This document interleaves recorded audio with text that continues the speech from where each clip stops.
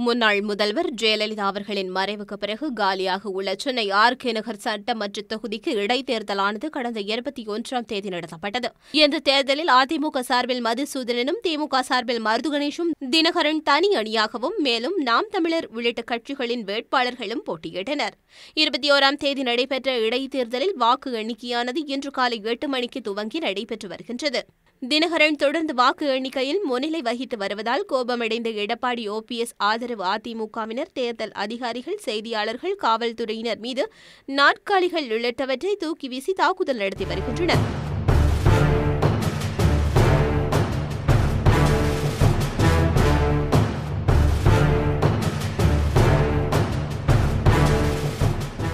இவ்வாறான தமிழக செய்திகளை உடனுக்குடன் அறிந்து கொள்ள W W W dot IBC Tamil dot com எனும் நமது இணையதளத்தோடு இணைந்து கொள்ளுங்கள்.